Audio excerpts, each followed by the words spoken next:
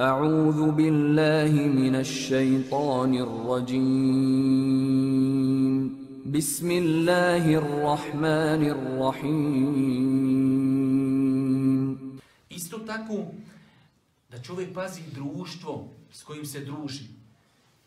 Ti kad se družiš s ljudima koji su bogobojazni, koji imaju tu svijest, pa nešto, ajde da kažemo, ti bi pozvao, kaj, hajmo nešto uraditi. Pa brate, ba, ne, ne može to nikako. Čovjek te otpali ti tako šamar tim riječima. Ne može, kako to, otkud to?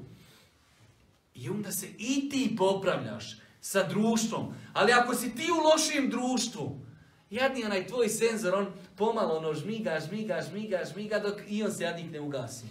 Ti u početka te zovnu, hajmo nešto uraditi, pa malo meni nezgodno, gore, dole, drugi, treći dan, ma ne, vidiš, uklizat ćeš znaš kako ideš i ti. Prvi.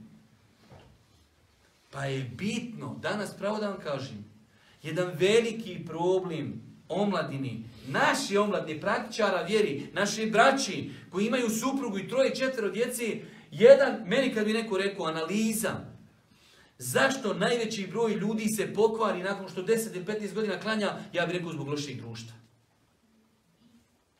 Mene kad bi neko pitao, šta je jedan od najvećih razloga, zašto čovjek nakon 10, 15, 20 godina prakticiranja vjeri poludio?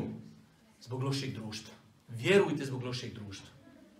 Počeo je se družiti sa, sa ljudima koji znači hm, ne gledaju na halal, ne gledaju na haram, može ovo, može ono i lagano se i oni stopiju.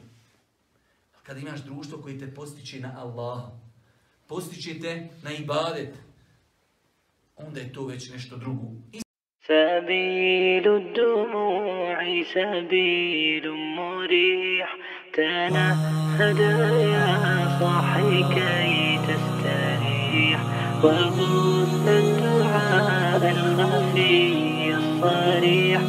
يسعك